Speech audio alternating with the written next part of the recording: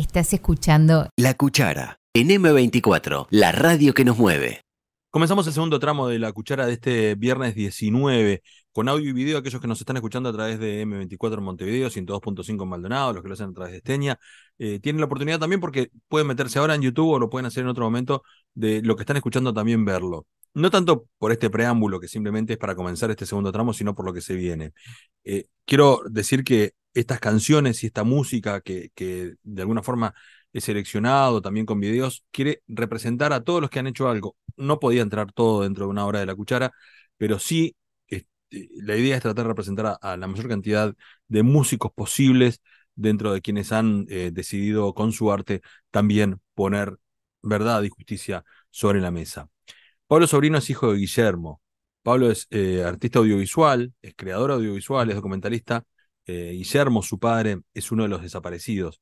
Y esta mezcla dio para que el Gastón de los cuatro pesos de propina le llevara como un río y que se entusiasmaran a hacer un tremendo trabajo audiovisual, que es todo un proyecto que se presentó este jueves 17 de tardecita con la presencia de ellos y de familiares detenidos desaparecidos, con, madres eh, y familiares. Por eso es que ahora vamos a compartir la charla eh, con él y también vamos a compartir el video. Bueno, en la previa de este, de este 20 de mayo se han generado un, montón de iniciativas, pero hay una que tiene que ver con los cuatro pesos de propina y contigo, Pablo, este, sobrino, un placer de, recibirte. Y, y, bueno, porque tiene, tiene mucho que ver contigo también, con tu historia, no solamente con, con participar y colaborar en un colectivo y un proyecto como cuatro pesos de propina, y ahí nace como un río. Eh, contame primero que nada, bueno, ¿cómo se vinculan? ¿Cómo, cómo surge esta idea? ¿Cómo, ¿Cómo se vinculan ustedes con los cuatro pesos? Ah, mirá, eh, esto fue así, el Gastón de los cuatro pesos, eh, lo conocí al Pata, al Pata Ismendi, eh, y bueno, le mandó un audio de siete minutos al Pata, y el Pata me mandó ese audio de siete minutos a mí, y yo escuché el audio de siete minutos, y, y, básicamente lo, que proponía Gastón era que habían escrito un tema para la marcha en silencio, y querían ver de darle difusión y ver de hacerse llegar a familiar y como yo soy hijo, entonces, mi hijo desaparecido, entonces está, iba por ahí. Pero también el tema es que yo soy realizador, realizador audiovisual, con el PATA también hace muchos años que hacemos este, documentales y, bueno, trabajamos en esto.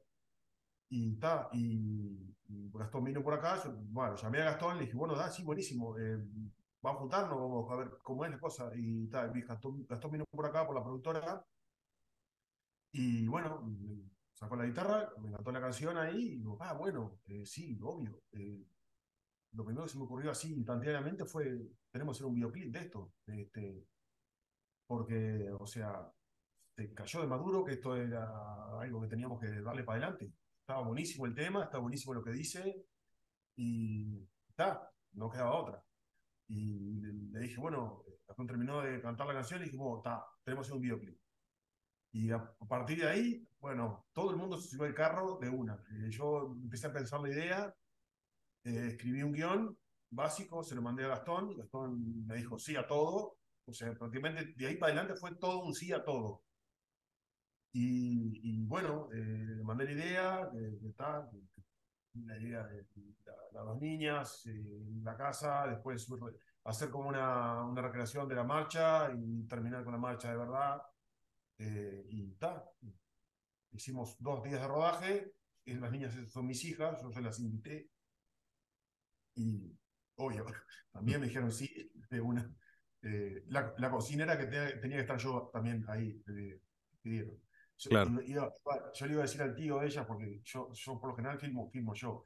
Y me dijeron, no, papá, tenés que estar vos, si no, no vamos. es una historia también que, que reúne como tu, tu, profesión de alguna forma y tu historia personal también, ¿no? A veces no, siempre sucede o no siempre te llega una, mirada externa de algo que capaz que vos como documentalista de alguna forma procesabas sin encontrar la punta de la madeja. Claro, por eso es bastante fácil para mí. Esos, todos esos, esas cosas que viste son sentimientos que uno tiene y les fui y los puse ahí de una. Yo he estado me reuní con Gastón y me fui a mi casa en Solimar y en el viaje de acá a mi casa, ya, cuando llegué a mi casa ya tenía toda la idea entera así escrita en el celular. Eh, y, y llegué a mi casa, le di una mirada y se la mandé a Gastón, ahí al toco. ¿Qué, significa para vos desde, desde ese lugar y también desde familiar el 20? Porque supongo que este año además tiene también este, este componente de la presentación del, jue- del miércoles, de- del video y de, y de todo el proyecto. Y bueno, no sé, yo es un aporte que hice, un granito de arena más a, a esto, eh, a, a la causa. Eh, lo que vi y que me encantó fue que eh, a partir de la marcha del año pasado y se empezó a sumar gente joven, nietos. Ni- eh, entonces, eso eh, me parece que es buenísimo, porque me dio como la sensación de que esto no, no, esto va a seguir. O sea, va a haber una marcha este año, una marcha el año que viene, el, el siguiente, y va a seguir, porque acá, viste, lo que hay es una ausencia, y hacemos todo eso por la ausencia. Y la Claro. ausencia se, se elimina, digamos, con información. O sea, que hasta que no esté esa información, esto va a, ser- va a tener que seguir. Claro. Y además, este, está bueno esto que vos decís. cuando, cuando, cuando llegue la información. Claro. Mientras tanto, vamos a estar acá. Y Viste que Se cumplen 50 años del golpe de Estado, ¿no? Y eh, son casi dos generaciones. Ahí, Sí. bueno, nietos en tu caso, nietas en tu caso, Y, y- y sigue, y seguimos. O sea, y seguimos, ¿no? Eh, y, y a veces se corre el riesgo de que el mundo esté tan alocado de mucha información y, de mucha controversia y, ¿viste? y, mucho tiroteo, este, a, medida que pasan las generaciones vaya quedando como mucho más atrás en el tiempo, que no sea tan de carne viva, digamos. Sí, pero lo que pasa es que al haber pasado eso, la letra de, la canción lo dice, que el fuego congeló en un momento. Eh, esto se congeló en el tiempo. Entonces, eh, eh, las imágenes de los desaparecidos están congeladas en el tiempo. Eh, nuestras vidas se congelaron en el tiempo, se, se quedaron en, en ese momento, quedamos todos medio que congelados. Mi fam- mis abuelos, mis, mis familiares, todos los familiares quedamos o sea, faltó eso, faltó la justicia, faltó la verdad y quedamos ahí en eso, esperando. O sea que, yo qué sé, hasta que no pase algo, hasta que no se esclarezca la verdad, hasta que no venga la información de qué pasó, esto va a quedar ahí, va a seguir estando. Yo qué sé, probablemente yo no esté y mis abuelos ya no están, montones de, de- de las veteranas y veteranos de familiares ya no están tampoco, pero después de ellos vinimos nosotros, los hijos, eh, y después de nosotros parece que vienen los nietos. O sea que esto, no sé, y me parece que está bien, porque no puede que, o sea, no puede avanzar una sociedad con esos agujeros. Claro. No, no, no avanza. Tapando agujeros no avanzás. O sea, no podés olvidarte de lo que tenés atrás para seguir para adelante. No, tenés que seguir para adelante sabiendo lo que tu- tuviste atrás. Y si lo que tenés atrás no está solucionado, bueno, vas a tener que avanzar como pueda porque tenés que avanzar, pero lo de atrás tenés que darle pelota. Claro. Y, y- y cu- cuál es la imagen que tenés de, de, de tu familiar? Mi ¿Qué- padre- cuál es, sí, de tu padre. ¿Cuál es la sensación que, que- que te genera? Sabes que he hablado, bueno, yo, yo participo hace mucho tiempo, en- desde la época de, de la plaza y tomando un café en el Solgabana esperando para cruzar, desde esa época, ¿no? Y, y he hablado con, con- muchos este, hijos, directamente hijos, ¿no? Que está buenísimo que, transfieran como esa- esas emociones, porque para nosotros los que lo creemos de la verdadera justicia, también nos falta ese nexo sanguíneo. Y bueno, yo, yo a, mi, viejo desapareció cuando yo tenía seis años. Lo- se lo- a mi viejo lo agarraron el día de mi cumpleaños, el 22 de diciembre del 77, en Buenos Aires. Eh, yo tengo recuerdos, imágenes de él. eh, y lo que me quedó de él fue una carta que me mandó, unos, la escribió unos meses, seis meses antes que lo agarraran. Eh, y la carta, yo me, me- mi, madre encontró esa carta entre los papeles, lo encontró como en el año 2000 más o menos. Yo la fui a leer recién el año, hace dos años, el año pasado, el, otro año, 19. Eh, y bueno, esa fue mi, como, como un reencuentro con mi viejo. Pero de mi viejo me acuerdo de sus manos, por ejemplo, de el tiempo que, que pasaba con él, que es, era hermoso, era un tipo re conmigo, ¿no? Era era como súper tierno y súper atento. Me acuerdo de ir a la playa, me acuerdo de montones de cosas. Me acuerdo de estar con mi tía y él. Eh, hay pocas fotos de esa época, porque viste, de esa época Sí, claro. complicada. Pero, pero tengo, tengo imágenes de él. Y lo tengo a mi viejo como una persona súper amorosa conmigo. Cada, cada 20 de mayo, eh, como que de alguna forma nos reencontramos con este, con algunos de los desaparecidos a los que nos toca la foto, o los que participamos en, Imágenes del Silencio y, y, todo lo demás, ¿no? Eh, la verdad que está buenísimo que, que, de alguna forma la vida y la profesión haya dado toda esta vuelta y en este 20 de mayo te haya puesto en la posición también de, de contar desde otro lugar todas estas historias, desde el lugar de, ¿no? del artista, de alguna forma también reivindicar al artista. Sí, el arte cura, ¿no? Sí. El arte mueve las cosas, mueve, mueve mucho. Mm. ¿Qué, te queda después de haber hecho, ah, no sé, dos, tres días después de haber presentado el video, de haberlo visto y de haberlo compartido con familiares, con público, que tiene no sé cuántos miles de, de, vistas ya, de, los que están a favor o en contra en esto que parece ser hasta como de hinchada ridícula, pero, viste, ¿qué, qué te queda? Mira, hoy de mañana me fijé, tenía 10.000 visitas ya. 24 horas. Eh, ¿Qué me queda? Va, bueno, eh, me sigue quedando. Es como, yo todavía estoy como muy movilizado por eso. Sobre todo porque están, o sea, yo les pregunté a mis hijas, les conté la idea y, les dije que precisaba que ayuda de unos niños. Y, sobre todo, la más grande me dijo, sí, vamos, sí, queremos, queremos jugar. Este, y, bueno, ahí con eso, eh, imagínate lo movilizador que fue para mí estar con mis hijas en eso. Y, además tuve que actuar yo, me metí dentro de la, de la cámara, que jamás la había, ¿no? Y, bueno, eh, pero lo más lindo fue eso, de ver que ahora están los nietos. Ahora están los nietos. y que los nietos te reclaman, reclaman y te reclaman. Mm, sí, sí, incluso está, en cierto sentido, son hasta mucho mejores que nosotros. Esta es la carta que encontró Pablo, que le había dejado su padre y que abrió hace simplemente un par de años.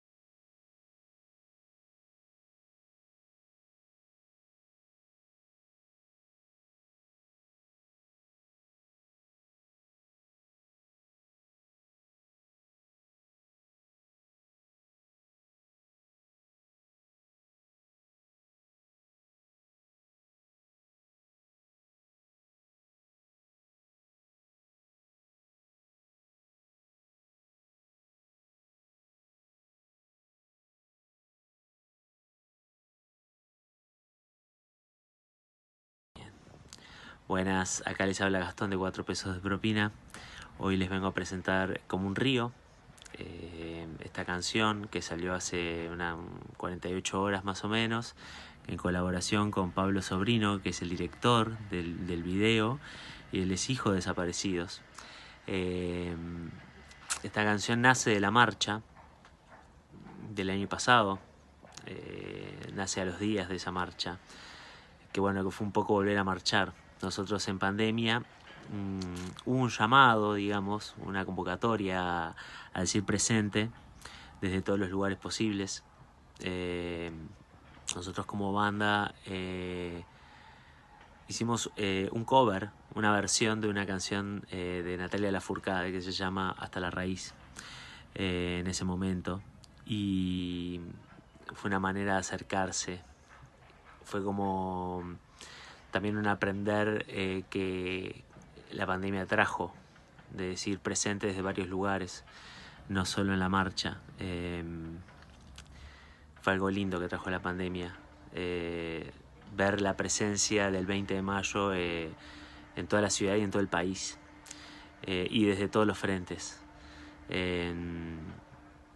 aquella experiencia fue muy linda y el 2022 volvió a la marcha. Eh, ahí fui a marchar y, y fue una experiencia muy, muy removedora. El cielo que se esconde tras tu silueta gris, donde miro te veo, donde busco no estás, atravesando el tiempo, una mirada rota se encara en el espejo de tu ausencia hoy.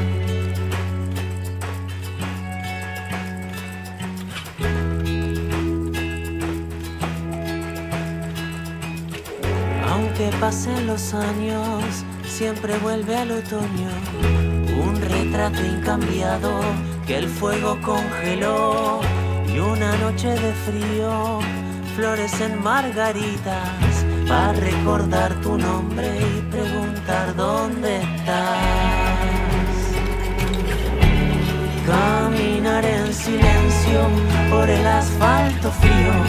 Acá nadie te olvida, acá no hay soledad.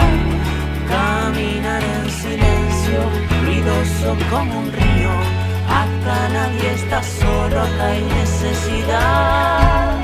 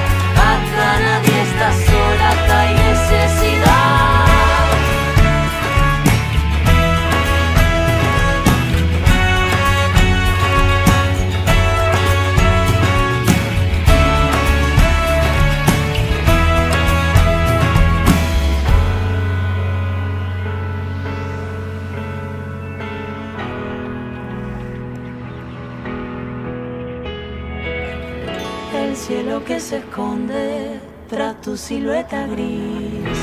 Donde miro te veo, donde busco no estás. Y aunque pasen los años, siempre vuelve el otoño para recordar tu nombre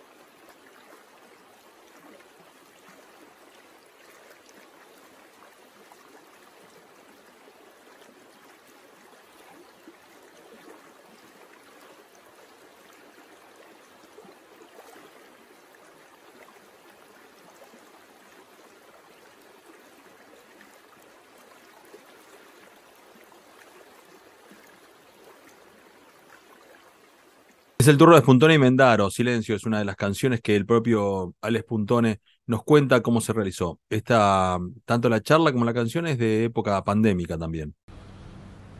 Bueno, la canción Silencio surgió después de la marcha del, año pasado, del 2019. Este, llegué a mi casa y al otro día escribí parte de la letra de la canción, que después se la mandé a Guzmán. Y bueno, sin decirle absolutamente más nada, él compuso esa música que para mí acompaña perfectamente con lo que yo quería decir en la letra. Y nos pareció que era iba a estar en el próximo disco nuestro, o sea, el que vamos a grabar este año, o que pensamos grabar este año.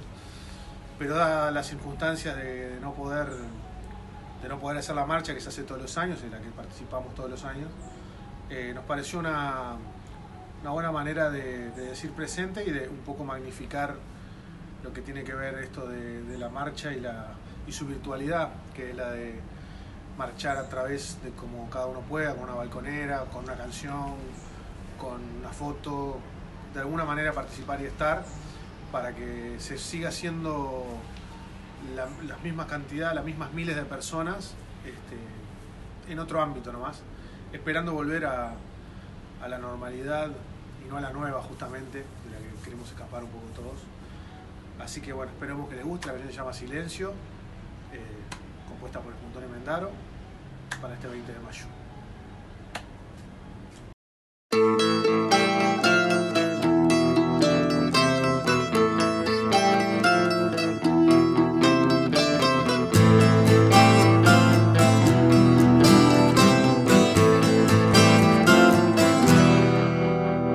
Prefiero las flores rojas, también andar con vos, pisar las baldosas flojas que esconden tanto dolor, oír el viento de mayo que pregunta dónde están aquellos seres amados con los que añoran estar. Silencio nos unió, la emoción me dominó. Fotos viejas de personas presentes que alguien robó. Y no paran de ocultar. Son cobardes sin piedad, escondidos en un la.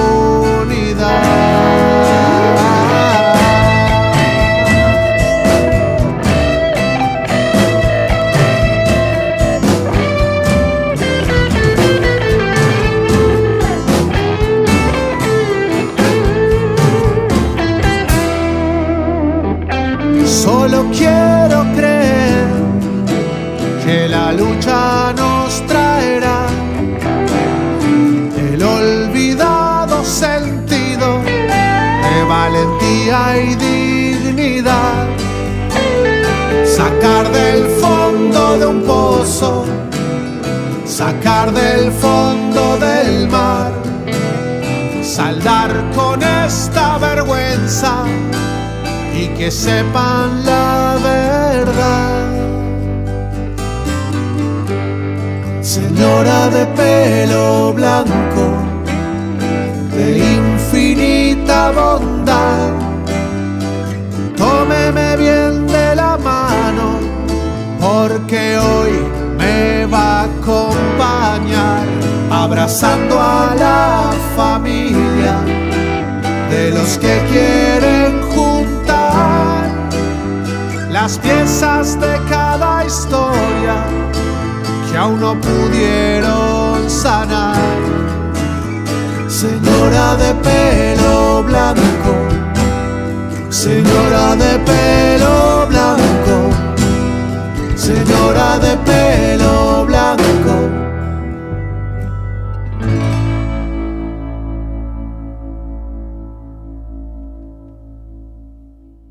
Y nos vamos, nos vamos escuchando el regreso del Gran Tule, que también en época pandémica, cuando había que estar en la calle, aunque no se podría estar demasiado en la calle, no, no había tantas posibilidades, eh, Pablo Rutén generó, eh, reunió a un montón de músicos de forma virtual para hacer esta versión increíble del regreso de Gran Tuleque. Nos vemos el lunes a las 4 de la tarde con Luis Angelero, pero sobre todo nos vemos en la marcha, con mucho silencio, mañana el 18 de julio. Gracias por acompañarnos en la cuchara.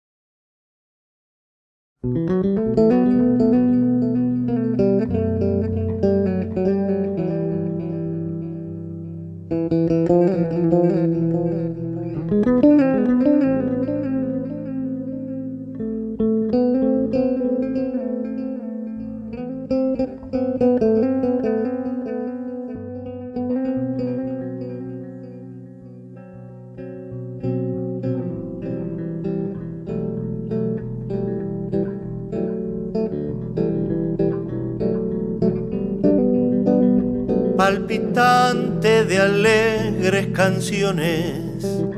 Hoy venimos al barrio a dejar farolitos de lindos colores pa' que alumbren en cada zaguán, redoblando esperanza y coraje por margaritas de amor y de paz por los chiquitos que faltan, por los chiquitos que vienen, uruguayos,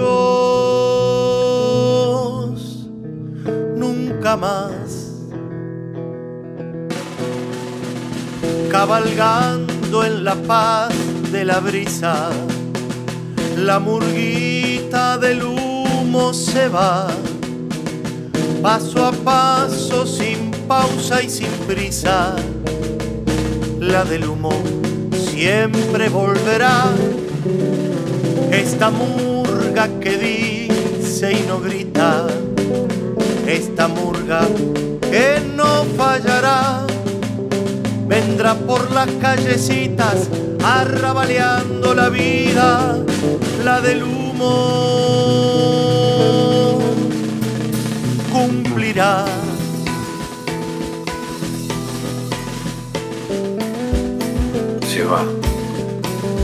Se va la murga que dice y no grita. La murga que vino se va. Pero esta murga, por la margarita, esta murga siempre volverá. Redoblando esperanza y coraje por margaritas de amor y de paz por los chiquitos que faltan, por los chiquitos que vienen, uruguayos, nunca más. Palpitantes de alegres canciones, hoy venimos al barrio a dejar farolitos de lindos colores en cada zaguán, redoblando esperanza y coraje por margaritas de amor y de paz, por los chiquitos que faltan,